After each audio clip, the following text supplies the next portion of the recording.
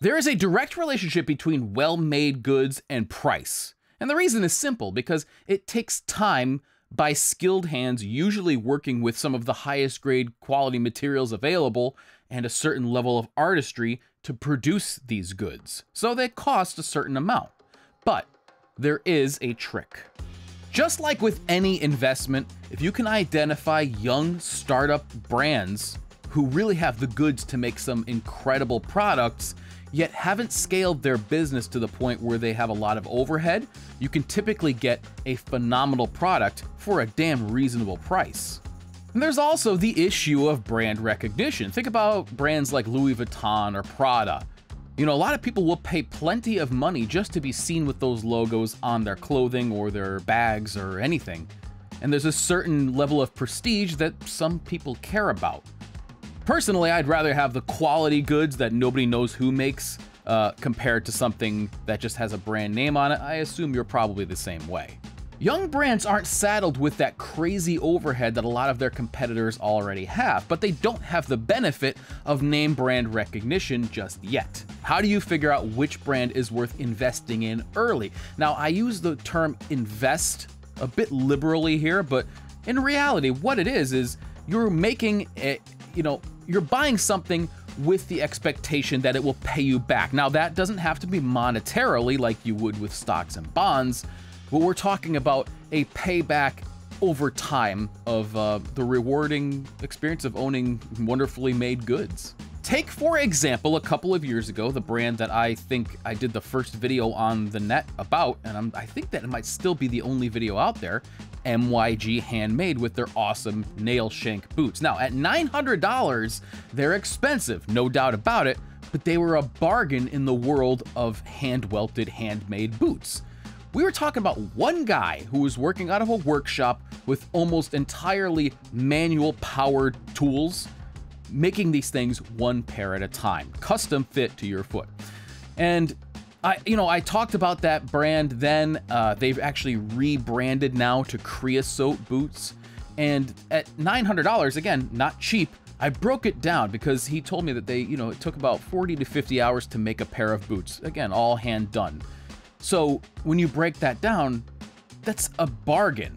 Now, at $1,200 where they currently sit at, $1,200, $1,300, $1,400, depending on which model you choose, it's still a bargain in the world of hand-sewn boots, but think about it if you had gotten a pair back then. $900 compared to $1,200 or $1,300 now, that's a decent savings.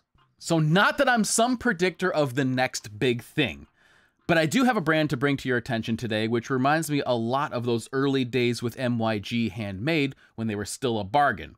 The brand is called Field Leathers, but please allow me to set the stage a little bit. Right now, if you wanted to buy a lifetime leather jacket, the options are many. Real McCoys, Freewheelers, Goodwear Leather, Himmel Brothers, etc., mostly priced at $2,000 and up.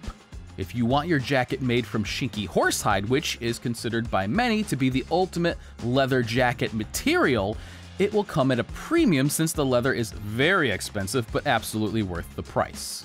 There's nothing quite like Shinki horsehide, but then again, the list of brands gets smaller. In fact, on the continent of North America, there are only two guys who can get their hands on this stuff John Chapman of Goodwear Leather and Dave Himmel of Himmel Brothers.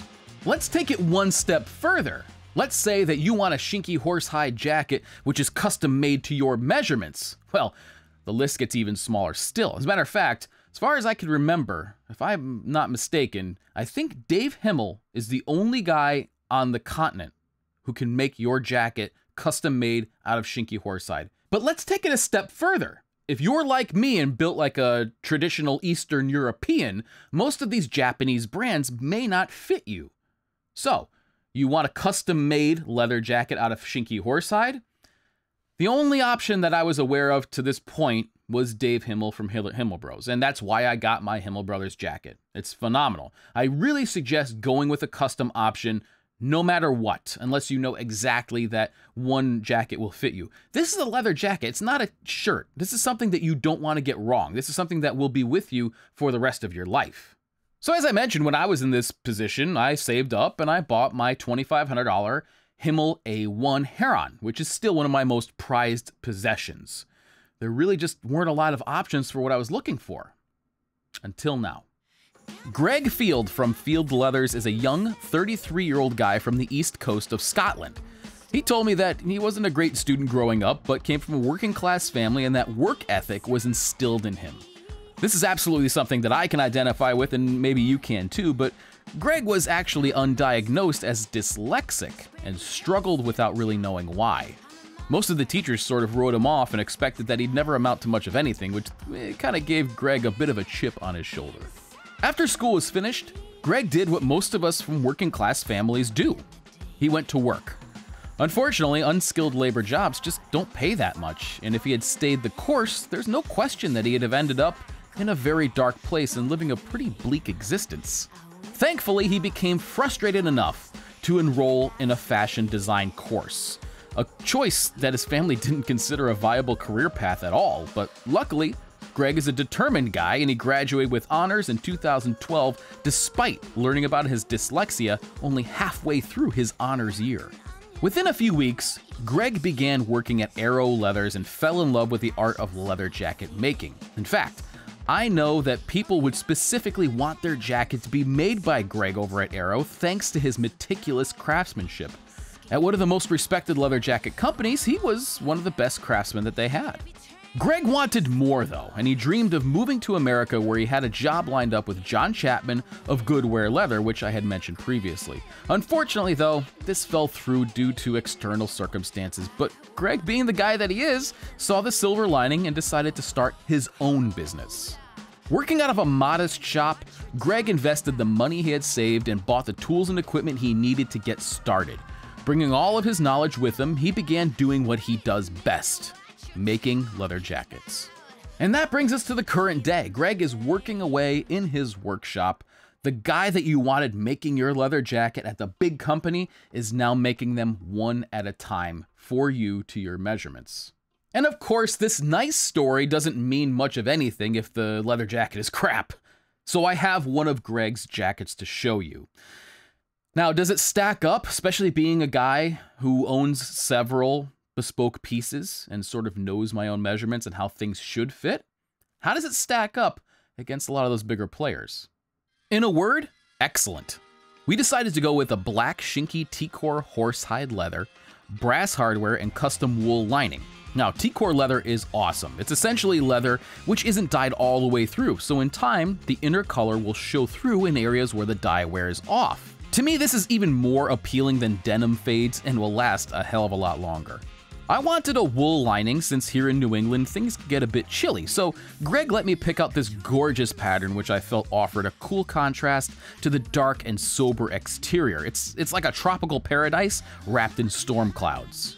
Now, I'm not one to go nuts over stitching like my buddy Jake over at Almost Vintage Style, but I can't find any spots where things just went wrong. All the stitching is neat and tidy. Originally, Greg didn't offer brass hardware, and I personally don't care much for bright chrome on black leather. To me, it just looks too easy. You can go to the mall and get a black leather jacket with chrome hardware from a dozen shops, but brass hardware, on the other hand, it just seems to have a bit more attitude to it, and I like to think of the best pieces as having almost a personality. Luckily, Greg was able to get his hands on some of these amazing reproduction Talon zippers and fulfill my brass hardware dreams.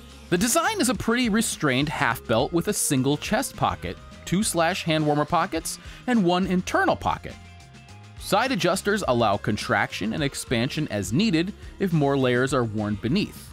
What I like about this style is that it acts as a vehicle for the leather itself. It's not too complicated or intricate, so anyone passing by will just think it's a nice leather jacket that fits well. Only nerds like me will know better. This is the type of high quality, low key style that I really identify with. Walk quietly and carry a big stick. The way Greg gets your fit perfect is a unique approach I've only seen once before, and that was in the world of custom suiting. He asks you to take body measurements and then makes you a jacket out of cotton as a try on piece. Then you give him feedback based on that pattern, and you really hone in your perfect fit. I've got to say though, his try-on jackets are awesome, and there's no reason you can't just wear this thing after you get the leather version. This process though is expensive, being an extra 100 euros, But next to being measured in person, it's the best way to get your fit just right. My jacket is nearly perfect. It fits excellent where it counts the shoulders, the chest, the sleeves, and all the things I discussed with Greg when ordering this jacket came out perfectly, but the one place we couldn't quite decide together was the hem. And in retrospect, I would have brought it in just a tad more, but now we're really splitting hairs, and when it comes to layering, I may be thankful to have that extra space. When I get an unlined jacket from Field Leathers, though, I'll slim it down just a bit. Now, along with all the benefits of dealing with a small shop comes the understanding that you may need to be patient. Currently, Greg is not only the maker, but the customer service department, social media manager, shipping and receiving, etc. So, getting your jacket may take a while, but my advice is just relax. You're buying something that you'll have for the rest of your life in a way that people used to buy things before two day Amazon shipping. Get it right and enjoy the process. Greg's a friendly guy, and dealing with him is very, very easy. So, just to summarize, here we have a craftsman who honed his skills at one of the best known leather jacket companies out there, struck out on his own, is making his own patterns using awesome material, and offers a bespoke option. Now, all of that for just about half what it would cost you from any other maker out there. My jacket here, even with all the upgrades there, you know, the bespoke option, the wool lining, all that stuff, came in just over $1,300. And if you decide to go without any of those options, and you want to just get an off-the-rack model from Greg, well, it'll cost you pretty close to a thousand bucks. Now we're talking about in the ballpark of like Schott jackets. And you can get something that's made to you. Now, am I saying that you can get in on the ground floor of the next big thing? Maybe not. But if Greg keeps pushing forward at the way he has and keeps that work ethic and refining all of his processes, you may very well be able to get a jacket right now, which will be almost double the price several years from now. As Greg has to scale his business, he's going to have no choice but to increase his prices. That's just the way business goes. So, if you've always dreamed about owning a Shinki jacket custom made to you but couldn't swing the $2,000 plus price tag, well, this is probably the best option I can think of. And it is the least expensive Shinki horsehide jacket available today. So, no brainer in my opinion. And if you're interested, I have listed, um, linked Greg's shop below in the description. Thank you so much for watching. Please let me know what you think of this leather jacket, and I'll catch you next time.